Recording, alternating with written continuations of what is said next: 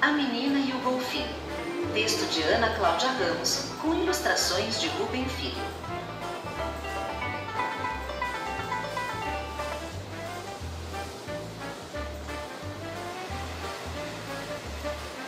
Jade sabia que não adiantava insistir. Ninguém acreditava que ela via golfinhos lá na linha do horizonte. Ela, os dois irmãos e o pai moravam em frente à praia do Pia, na Ilha do Mar, e o pai sempre dizia que ali não apareciam golfinhos.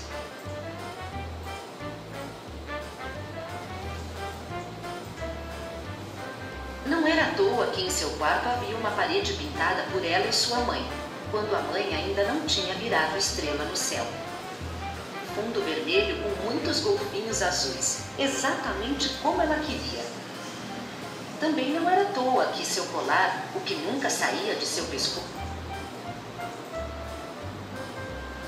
Enquanto isso, lá no longe do mar, Nuno e sua família nadavam tranquilamente todas as tardes, exatamente como Jade gostava de passear na Praia das Pedras. Os golfinhos que vivem perto da Ilha do Mar adoram nadar lado a lado com os barcos que navegam pela Baía dos Ventos. Mas os pais de Nuno são muito desconfiados. Não querem nem sequer